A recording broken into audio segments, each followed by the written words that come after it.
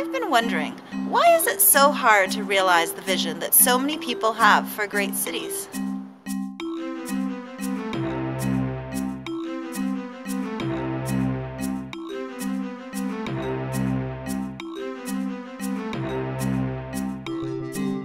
I'm a developer. We're trying to do the right things, but there's a lot that gets in the way. Like zoning, building codes, investor economics, and even tenant requirements.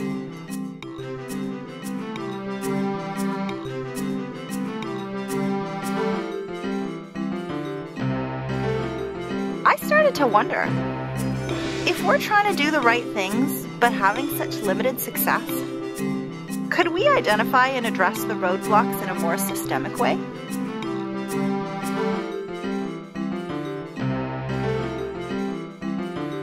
A lot has been written about cutting edge projects and strategies, but what I'm interested in is how we can build frameworks that make all projects better. Better cities for people, better use of public resources, and less carbon.